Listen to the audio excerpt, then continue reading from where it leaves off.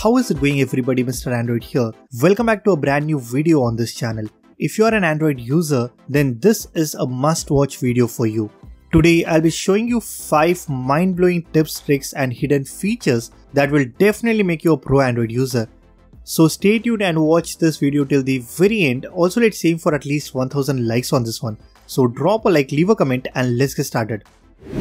Let's say you're watching a video on YouTube and if you want to download that video without installing any third-party application on your phone, then there is a simple way to do it. All you have to do is just tap on the share icon and copy the link. Now open the Chrome browser and paste it. Here you need to make sure that you're using the desktop version of Chrome. Now click on the link and just remove the letters UBE from YouTube. That's it. Not only you can download videos, but it also allows you to save the audio file and the best part is you can even select the duration as well. I think it's one of the easiest way to download YouTube videos directly to your Android phone. Nowadays, we all get a lot of OTP numbers in our phones while making any transaction and it gets stored permanently in your messaging app. As we all know, OTP is only good for one time use, which means there is no reason to keep them so if you really want to remove all the clutter from the messaging app, then there is one important setting which you need to turn on. Just open the messaging app, go to settings, select this option that says message organization. Here you will find something called as auto delete OTPs after 24 hours.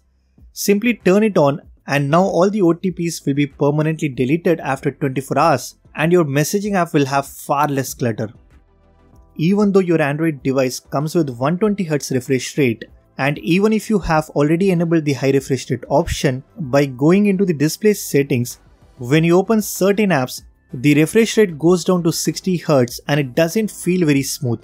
To fix this, all you have to do is go to settings, about phone and tap on the build number for 7 times. Now if you go back, you will have the developer options.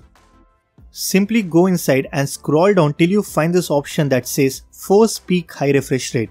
It is disabled by default, just go ahead and turn it on. It does consumes a bit of your phone's battery, but it will make sure your refresh rate always stays at 120Hz and it definitely makes the animation feel a lot smoother. Next, let me show you one simple trick to clean up some storage on your phone. We install a lot of applications, but honestly we don't use all of them. If you are running out of space, then just go to the Play Store, tap on your profile picture, select Manage Apps and Device. Now click on Manage and select Least Used Application. Here you will have all the applications that you don't use a lot on your phone. Just select the apps you'd like to uninstall and then tap on this delete icon. You don't have to search through the app drawer. Now you can uninstall multiple apps in just one click. Finally, we have got a very useful trick related to Wikipedia.